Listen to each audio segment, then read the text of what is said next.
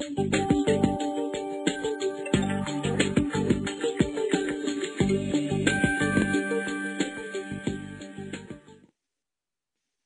medicinal product is defined as A. Any substance or combination of substances presented as having properties for treating or preventing disease in human beings.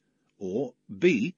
Any substance or combination of substances which may be used in or administered to human beings either with a view to restoring, correcting or modifying physiological functions by exerting a pharmacological, immunological or metabolic action, or to making a medical diagnosis.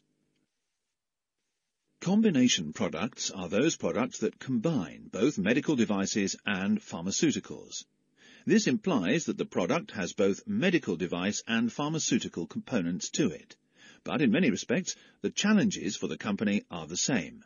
It is important when considering combination products to consider in the first instance the primary mode of action. How do you as a company expect the product to work? Or how do you expect it to achieve its primary purpose? The guidance document that should be used in determining the correct pathway for combination products is the MedDev Guidance 2.1-3 third revision, dated December 2009. This document provides both practical examples of these sorts of products, as well as outlining the routes to be taken to either achieve CE marking or product licensing. This guideline relates to the application of the Medical Device Directive and to the demarcation between Directive 93-42-EEC on medical devices and Directive 65-65-EEC relating to medicinal products.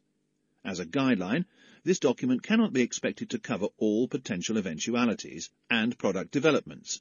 It is, as it suggests, a guideline.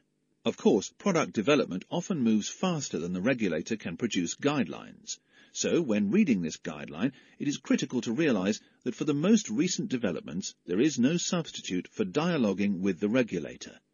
In doing so, however, and as noted previously, it is important to have a company strategy in mind and to document how you believe the product will be used and how it achieves this purpose.